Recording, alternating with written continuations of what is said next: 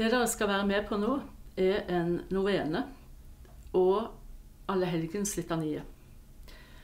Eh, en novene er en ni dagers bønn eh, hvor vi ber i en bestemt intensjon. Det er mange forskjellige sånne novener. De kan være kortere eller lengre. Den vi ber i dag, er laget spesielt for denne situasjonen av dominikanere i Frankrike. Og vi ber sammen med hele den dominikanske familie. Eh, vi ber for ulike grupper som er rammet av koronaviruset. Det er syke, det er helsearbeidere, det er ensomme og isolerte, det er øh, journalister, faktisk. Det er også øh, politiske ledere. Alle mulige ulike grupper. Og i dag har vi kommet til de som er døde av denne sykdommen, og deres pårørende. Vi avslutter med å synge Allehelgenslitaniet. Det er et litani hvor vi påkaller alle de helliges forbønn. Og det syns vi egentlig er på sin plass nå i denne situasjonen. I tillegg til at Allehelgens litani jo tradisjonelt også har vært brukt i tider med pest og uro.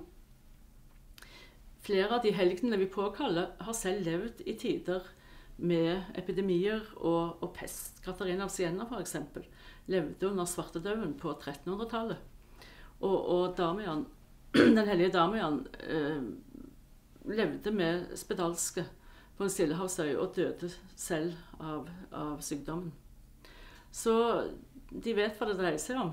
Og vi eh, har jo den tradisjonen at vi ber de hellige om forbønn. Og gjør det nå i denne situasjonen også dette foregår, selv både novenen og, og Allehelgenslitaniet foregår da i kapellet på Katarinahjemmet. Hvor vi også har sakramentsutstilling. Det er noe vi har av og til når vi da samles i bønn.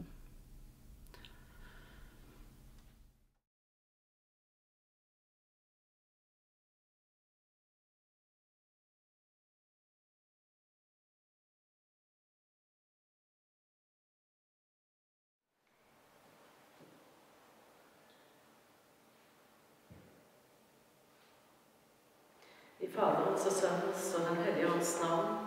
Amen. Fra Matteus evangelium. Søk først Guds rike og hans rettferdighet, så skal dere få alt det andre i tillegg. Så gjør dere ingen bekymringer for morgendagen. Morgendagen skal bekymre seg for seg selv. Hver dag har nok med sin egen plage. Gud, vår Far i himmelen, vi overgir vårt liv i dine hender. Du har alt i din hånd. Og la oss nå be om beskyttelse mot koronaviruset og hjelp for de rammede. Og i dag spesielt for de som er døde av viruset, og for deres pårørende som sørger.